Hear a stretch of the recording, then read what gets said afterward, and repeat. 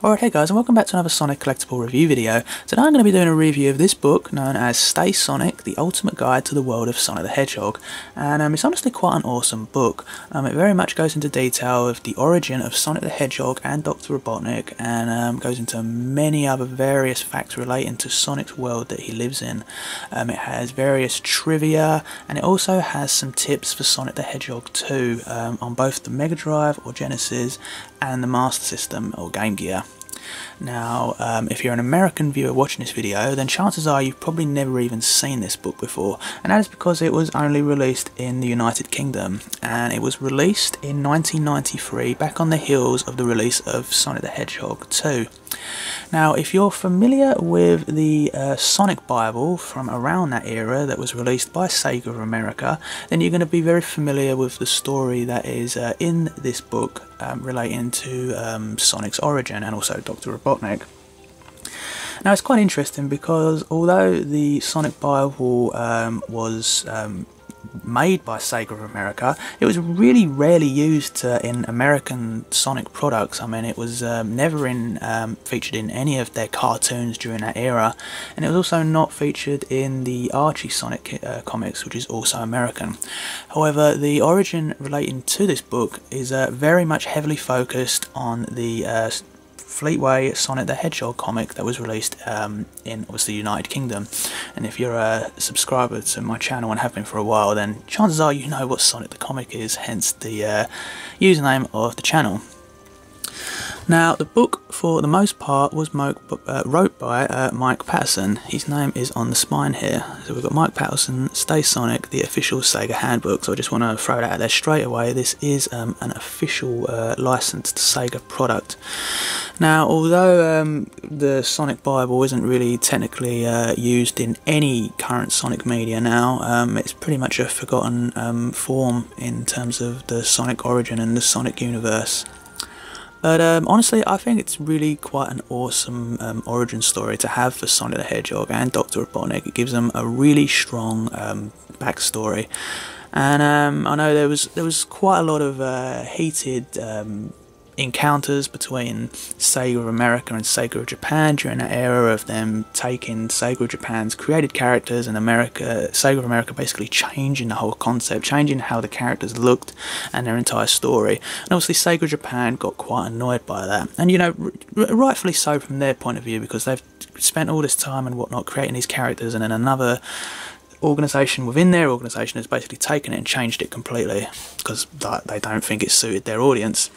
But um, I honestly don't mind the Sonic Bible story that Sega of America did release, but um, that can be a, like a, a, story for another video um, some other time. So this book was uh, published by Fantail, and if I show you a little back bit first before we get into some of the details of the book. So at the top here, he travels at the speed of sound, he spikes a blue, he sneaks are red. He is Sonic the Hedgehog. But what else do you know? Sonic hasn't always been blue, and Robotnik used to be called Dr. Kintobor. There was a time when Mobius, Mobius is featured uh, as Sonic's homeworld in this book, as opposed to like Earth, which is sometimes used in um, Sonic canon in video games. Sonic's planet. Sonic's planet was peaceful, but then Robotnik went berserko and the rest is history. So if you want the scam of Sonic, Robotnik, the Badniks, and the rest, hang around.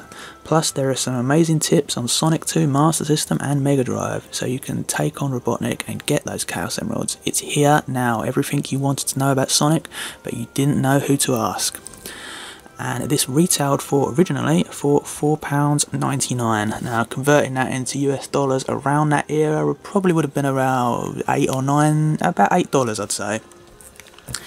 Now I never actually got this um, from like an official bookshop during this era, but I very much vividly remember when I got this book. Um, I was with um, a relative at that time, and we was uh, going through. It's like a local boot sale or um, I think what more commonly the word you use in America is it thrift sales or thrifts, and um, I very much remember seeing this for sale, and I think it may have been about 50 pence. And I asked the relative I was with at the time, because I was obviously quite young. I was like, oh my god, can I have this book? It probably would have been around 94, around that sort of era, I reckon, around 1994. So it would have been not too long after the book was published. And um, I actually fell in love with the book, and um, I, I, was never much a book reader back then, but this was one of the very first like, sort of books that I probably ever read. And um, yeah, pretty awesome. Now, the front cover here, this was actually um, drawn by artist Duncan Gutteridge. Um, the reason I'm bringing this up is because I'm going to show you something inside the book in just a moment. Now, although he didn't draw this artwork specifically for this book, in fact, um, he drew um, basically, uh, it was either the 1993 or 1994 um, Sonic the Hedgehog calendar, official calendar that was released um, by Sega. Now he drew 12 official pieces of Sonic the Hedgehog artwork for that calendar, and basically Sega reused um, his artwork over and over again for various other Sonic products that were released during that time. This being one of them. However, I just want to point out there that he never actually got paid again for them reusing his artwork, such as this. But um, if I open this up, there's the page here. And this is why I bring up Duncan Gutteridge. Um, I met him at, oh, I've met him a couple of times, but um, probably about two years ago at um, a various, I think it was uh, one of the Comic Con conventions in the United Kingdom. I got the chance, well, I saw that he was a guest line up there, so I really wanted to bring this book and get him to sign it, which he has done here. So that's really awesome. It really uh, gives even that much more um, nostalgia to this book for me. And on the left hand side here, it does say first published 1993. So I'm not going to go through every single page in this book, otherwise this could go on for like a one or two hour long video. But I'm going to go through like the standout parts um, in this book. So the contents here I will go through just so you know exactly what you've got in here. You've got introduction, in the beginning, Sonic the Hedgehog, are you a Sonic nut? Which is kind of like a quiz, which I will show you that because it's very comical. Uh, you've got a Dr. Ivo Robotnik segment. You It goes into very much detail of he's Egg-O-Matic, his Badniks, and then you've got the tips. Sonic celebrities, Tails, breaking the, the Sonic barrier, the Zone Zone, and Sayonara Sonic. So the introduction is it's pretty much depicted that this is wrote by Sonic the Hedgehog and it uh, it very much the way he's wrote this is very much kind of like the characteristics of the Fleetway Sonic the Hedgehog. Um, if you know kind of like the, the, attitude that the Sonic the Hedgehog has in that comic series, it's very much uh, is very much like him. So he's got, hey, don't believe we've met. You were probably moving too slowly. You know my name, Sonic, Sonic the Hedgehog, and I thought I'd set the record straight on a few things before we go any further. So hang around for a millisec well, the folks at Sega asked me what I thought about doing a book. I said, you expect me to hang up my red sneakers and take up writing? No way. They said, but what about all these people out there who want to know where you come from? What do you want your...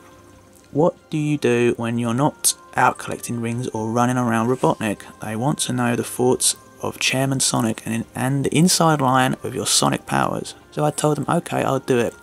But you get it written, I'll just introduce it. So here goes and then it goes into the full details. Sonic carries on writing a little bit, and then it goes into the full history. And it, I thought this bit was quite comical. Sonic's right in here. He goes, "Well, it happened like this," and then he's obviously talking so quick that every word is uh, all all as one. And um, he goes, "Was that too quick? Sorry."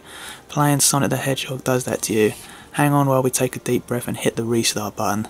So although it is a very much text uh, influenced book, it does have various pictures. Some of them are in colour as well.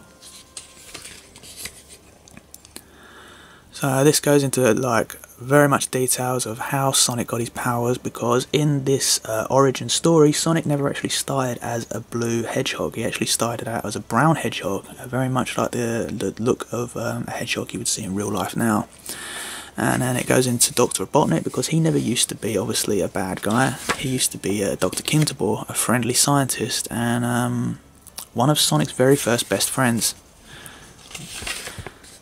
So as you can see, there's a lot of text. I would be here a long time if I was reading this to you, but I'm going to go into like the standout moments. But you can see just how many pages and text this goes into how detailed um, Sonic's actual origin is. It's not just a simple case of, oh, he, he became blue via an accident. There's a lot of uh, information regarding it. Couple of months passed with Sonic's appearance showing no sign of revert reverting back to its former drabness, nor did his speed decrease as he surged all over the place, covering large distances in hope of locating the Grey Emerald for the doc. So he was friends with Dr. Kintobor for quite some time. Even the Fleetway Sonic the comic doesn't show that. It kind of only does it in one panel, um, his friendship with Kintobor, but it never shows you how long he actually was friends with him. And it describes here the machine the rock which was created by um, dr kintobor which was designed to um, control the chaos emeralds which were uh, very much unstable at least wrote in the, the, origin of this time. And the rock was meant to uh, I believe it was uh, remove all the evil of the emeralds uh, into his machine. But uh, Kintobor there was an accident and at that time Kintobor was holding a rotten egg and he ended up falling into the machine, which therefore turned him into Dr. Ivo Robotnik. And then this goes on to sort of uh, Robotnik's uh, sort of takeover and what he did afterwards. Now I really like these bits because um, this goes into details of like Sonic's characteristics, what he likes to eat, and what he likes to do, and um, something like this would never ever get away with being published in today's age because it would be deemed as um, like uh, you can't say that you can't say this it might like offend someone or um, it would be deemed as uh, promoting unhealthiness in children. But it says here Sonic's diet is cholesterol to fuel his tremendous speed. He loves burgers tacos nachos fries anything chocolate and cola by the gallon. It doesn't sound particularly healthy but Sonic is constantly on the move and burns burns up calories at an amazing rate. Diet drinks and the high brain, low fibre foods are not his style. So he's basically saying he doesn't do diet food, he wants the highest cholesterol fat foods that he can possibly eat. And that to me is just awesome. You would never get anything like this printed in any sort of, uh, not just Sonic related media, but like a kid's sort of uh, depiction of a character because he would never get away with it.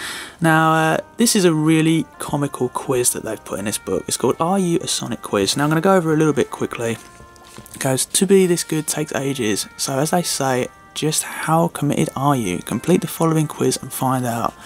So you get a question here and you get an A, B and C answer. And basically you tally up the, the more answers you've got at the end depending on the letter you've chosen. So if you've got more C's you'll check the C response at the end of the book and then see what it describes you as a Sonic fan. So I'm going to read a few of these out to you. Because your best friend is playing Sonic 2 on your Mega Drive. When you notice he is about to top your coveted high score do you sneak quietly downstairs and throw the power switch claim you have just been cut off for not paying the bill? Or do you B applaud loudly, applaud loudly, sorry, clap him on the back for being a stout fellow and give him your signed Guns N' Roses 12 inch as a reward? Or do you C, throw him out and refuse to speak to him ever again? So, um, you let me know what you guys would do with that one. It carries on.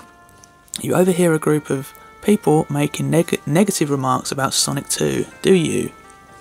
A agree with them, sell your system the very next, the next day, and take up collecting matchboxes. DB. Point out politely that they are leading sad, empty lives and show them why with a display of technical games wiz wizardry. Or do you see? Drop your keks on the spot and prefer them both cheeks. it's a. Uh, it goes on, and then we got a, um, a page two here. Uh, what was the question there for that previous one, actually? Here we go. So this one's kind of like a romance one if you're in a romantic relationship. You are having a quiet night and a game of Sonic when your girlfriend or boyfriend, depending on uh, which gender you are, rings up to announce she is coming round to watch and wants to watch Ghost or Terminator 2 for the seventh time. Do you cut the cut, cut the video cable, put the machine in a cupboard, and claim you have been burgled when he or she arrives? Or do you B, accuse her of going out with the Chippendales, uh, him or going out with the Dagenham Girl Pipers, which were like popular like celebrities during this this period of time, which were very much like icons to other like, boys or girls. Uh, accuse them of going out with them and finish with him or her forthwith? Or do you see all the pizzas, settle back and wait for the patentry scene special effects? There you go. Um, I'm just going to read this last one out because this one always amuses me. Number five, it goes, Your mum accidentally pulls the plug out of your Mega Drive as you are about to rack up a truly momentous score. Do you? Shed a small tear, but console yourself that you'll clock up another biggie next go. Do you B? Tell her she's a dozy old trout and go upstairs to pack your bags? Or do you C? Fiddle the high score, fiddle the high score table and add a bit extra for your troubles? So, um, yeah. And um, these are the answer or responses you get at the end. So basically, if you answered A to any question, you get three points. If you answered B, uh, if you answered B, have a good couple, so you get two, and C gets you uh, only one point. So if you get between 12 and 15 points, you are Sonic Bonkers, an unsavable games nut, but do you have any social life? If you get between 8 and 11, you are a loyal Sonic fan and will receive your due reward when they dish out your high scores in heaven. Uh, 5 to 7, did you buy this book at a car boot sale or something? Which is quite ironic really because I actually did buy this uh, book at a car boot sale. Okay, so then now it goes into Dr. Robotnik's um, life. And I always really found this interesting because it actually goes into his early years as it's depicted here. Now, there are some scans of this book you can get uh, online. I'm sure a Google search would uh, bring this up if you did want to read this more in detail. Goes into his physical characteristics, um, his diet, so if you want to know what Dr. Robotnik eats, of course, it's uh, Robotnik has always adored and still adores eggs, hard boiled, scrambled, over easy, poached, or in an omelette. Now, he especially enjoys them raw with a dash of Tabascos. He eats with his hands, chewing with his mouth open so that he frequently loses bits, leaving a yellow egg stains on his white lab coat. Um, his personal hygiene leaves a great deal to be desired. He doesn't wash and never claims he's never cleans his teeth, so hideously they are stained. His breath smells of egg. And there's a picture of his favourite food there. Okay, so it goes into details of his Egg-O-Matic and it even has a graph here of what his Egg-O-Matic looks like while he's um, controlling it. So it tells you his gear sticks here, the fuel um, reader, mallet, spears, where his weapons are. He's even got a, a, an egg freshener in there, which must make his machine smell like eggs. Now we go into the details of the badniks, telling you what they are, what they can do, what type of badnik they are, whether they're water or on land, and their names. And as you can see there's a lot of badniks here, it focuses on all of Sonic 1 and Sonic 2's um, badniks. So now we come to the tips. Now basically the tips of this book is it, it gives you detailed um, guides on how to beat the bosses for either Sonic 2 on the Mega Drive or the Master System version. And you can see it covering boss 1, boss 2, 3, I don't really need to show you too much of these in details because chances are if, you, you're reading or watching this video you have played these games and know these bosses.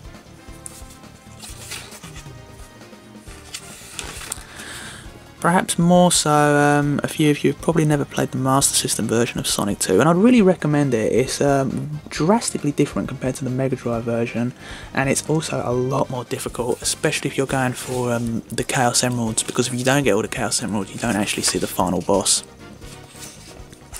Some of these bosses were really challenging, and um, there was actually no rings on any of the boss levels on this stage, so it was one hit kills for uh, Sonic. And then we go to some celebrities who are interviewed uh, in this book, um, like whatever their involvement or what was their first experience with Sonic the Hedgehog. Now, I don't know if any of you are going to know these people. Um, they were very obviously much more known back in the 90s era. So we've got Cathy Dennis, and you can see the questions are what and what and where was your first ever experience of Sonic? And she's put jumping in the box which goes under the water in the swimming aura. Weird. We've got Richie James. Uh, Zach, Zach Zoe. Yeah, see, I, I, even I don't even know some of these people. Uh, Richard Fairbrass, which was Right Said Fred, and Tom Hingley. It hasn't even got a picture of him. and then it goes into like Tails. so it has got a very like detailed description of Tails and you know who he is, what he is. They did uh, uh, incorporate his origin story also in uh, Fleetway Sonic the Comic. Now, what is Tails' diet? Because unlike most foxes, Tails' diet doesn't consist of several plum plundered chickens a day. It upset Sonic, who pointed out that he might end up picking chirps from his teeth one day. Instead, he shares a diet similar to Sonic, though he still can't resist the odd fried chicken bucket. So there you go. Tails has a very much uh, distinctive taste for chicken. You got Breaking the Sound Barrier. This is an exclusive interview with Vols magazine Ask Aseg Euro. I can't even pronounce that. I don't think I don't think I've even heard of this uh, magazine, even from this era. But it's got an interview here. It goes into the zones now of uh, Sonic the Hedgehog and detailed responses, the ringleader, and then it just goes into more story and stuff. And um, it explains what Robotnik's involvement is in the chemical plant zone and why he has it and what he uses the resources for. So it's, it's really awesome. It gives you such a detailed uh, uh, description of everything relating to the Sonic universe, at least from Sonic the Hedgehog 1 and 2. I mean, if you've ever wanted to know about uh, the Mystic Cave Zone, here you go. I mean, it says here, no one has ever been able to explain the origins of the ivy-covered Mystic, Zanes, Mystic Cave Zone, which is lit only by flickering inhabitants, uh, insect inhabitants. And it goes on and on. Uh, the Oil Ocean Zone. Um, we are coming right close to the end of the book. Metropolis Zone. You've got a really awesome picture of Robotnik there, uh, unleashing oil and then we come to the end of the book, where we have a, a send-off by Sonic the Hedgehog, most, uh, you know, titled Sayonara Sonic. Way to go, Blue Boy. That's the story so far. Sonic may have defeated Robotnik in Sonic 2, but with a nasty feeling the psychopathic prof will soon be back. Whatever. Sonic will be ready, no matter what the Dotty Doc dreams up. In the meantime, old Blue Spike can just chill out. Much, na much nachos and fries, speed around Mobius, and generally be one hip dude hedgehog. But what about the future? Who cares, say Sonic? When you're as fast as I am, you're practically there already. And once you've got that, it's time to move on. Sayonara Sonic. And then it advertises some of the other uh, coming soon Sonic uh, the Hedgehog game books at this time Metal City Mayhem and um, Zone Rangers. I have got Metal City, Metal City Mayhem uh, somewhere in my collection, but I don't. Think I've got the Zone Rangers as too. I'm not that sure. And that brings us to a close. So, really awesome book. I mean, if you want to know more details, not just necessarily Sonic the Hedgehog or Dr. Robotnik, if you want to read about zones that were depicted around this era in the Sonic the Hedgehog lore, it's definitely worth checking out. As I said, it's it's not necessarily a really rare book to come by. Um, I think quite a lot of these were printed back in the 1993 era, so you can probably find these. Um, I haven't looked recently, but I'm sure they probably pop up from time to time on eBay. Um, but if not, go check out some of the uh, scans that are uh, online. I'm sure someone has scanned this book by now um, on some Sonic website.